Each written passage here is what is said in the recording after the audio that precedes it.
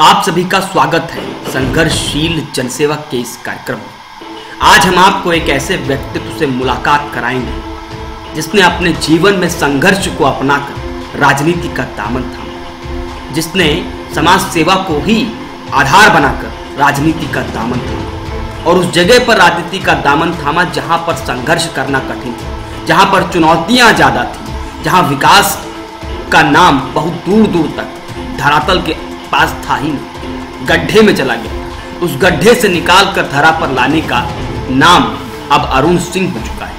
अरुण ने जिस प्रकार से नौजवानपन का साहस दिखाया और जिस प्रकार से उन्होंने जनता के बीच अपनी बैठक बनाई और लगातार काम करते नज़र आए, उसी का नतीजा ये हुआ कि 2015 में ब्लॉक प्रमुख बने और उसके बाद तो फिर पद के बाद जो काम किया, वो सामने है। हर जगह शिलान्यास के माध्यम से यह साबित कर दिया कि काम का प्रमाण अगर चाहिए तो आप जगह पर चले जाइए। और आपको इसके काम के प्रमाण भी साफ़ नज़र आ रहे अरुण ने जिस प्रकार से काम किया, वो आज संघर्ष व्रत के माध्यम से ही प्राप्त हम आपको बुलाते हैं अरुण सिंह के पूरे व्यक्तित्व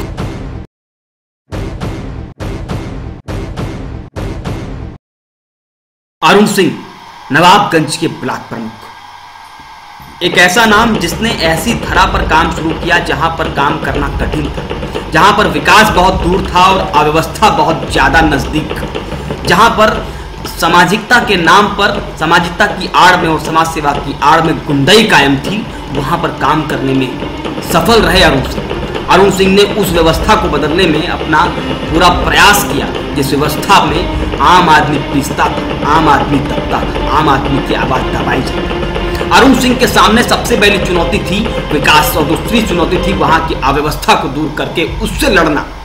लेकिन अरुण ने उन सब व्यवस्थाओं से लड़कर, अव्यवस्थाओं से लड़कर अपने आप को साबित करने और उस विकास की धारा को, जहाँ जो खो चुका था, उसको वापस लाने में अरुण ने पूरा प्रयास किया। और उसी का नतीजा है कि आज धार्मिकता के नाम पर अव्यवस्था के नाम पर गुंडई के नाम पर और डरा धमका कर, इसके नाम पर नहीं बल्कि राजनीति अब शुरू हुई है नवाबगंज के ब्लॉक प्रमुख के रूप में। वास्तविक धरातल पर काम विकास के नाम नीति नियत के नाम पर और भारतीय संविधान को अपनाते हुए उस पर। वह नाम है अरुण बहुत जल्द हम सीधी बात के कार्यक्रम से उनसे उनके कई सवालों के जवाब आपके सामने रखेंगे। अरुण सिंह के इस संघर्षशील के इस कार्यक्रम में फ़िलहाल इतना ही। फिर मिलेंगे आपको एक नए व्यक्ति